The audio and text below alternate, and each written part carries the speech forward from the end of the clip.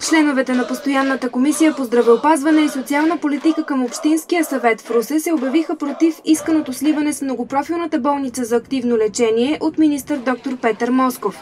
Декларацията им ще се обсъди в петък от представители на всички групи в местния парламент.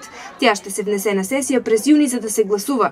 На извънредното заседание на здравната комисия са присъствали представители на онкодиспансера и Центъра за психично здраве.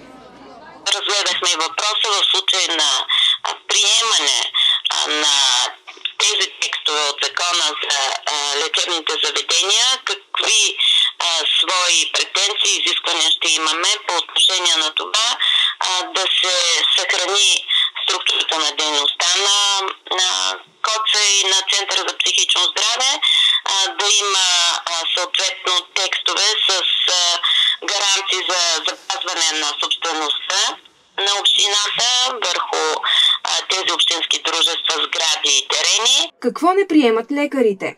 Да се премахне тази силова унищожителна политика, която е завзета в този проект закон.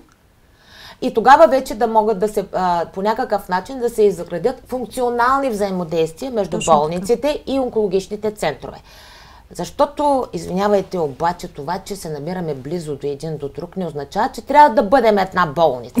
Факт, разбира се. А, освен това, това, че сме близо до един, един от друг, пациента пак ще бъде изписан от тази болница, защото той трябва да си отиде вкъщи преди да проведе някакво специфично лечение по отношение на онкологичното си заболяване, което става след 3-4 седмици след оперативна интервенция.